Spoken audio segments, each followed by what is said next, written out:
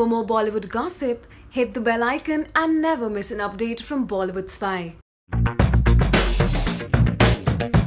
John Abraham और डायना पेंटी starrer पर मानू अपने रिलीज़ के लिए है तैयार ऐसे में इस फ़िल्म के प्रमोशन में बिज़ी इस पर मानू डुओ ने जब एक लीडिंग एंटरटेनमेंट पोर्टल के साथ इंटरैक्ट किया तब जॉन ने सलमान खान को बॉलीवुड का एटम बॉम्ब कह दिया दरअसल इस मीडिया इंटरेक्शन के दौरान रिपोर्टर ने कई सारे बॉम्ब्स के नाम सजेस्ट कर उससे बी टाउन सेलेब्स को रिलेट कर नाम लेने के लिए कहा। इसमें जब एटम बॉम्ब की बारी आई, तब बहुत सोच विचार और मामले के बाद जॉन ने सलमान का नाम लिया। और इसके पीछे उन्होंने ये भी कारण बताया कि सलमान जो भी करते हैं, वो बहुत ही ग्रैंड होता है।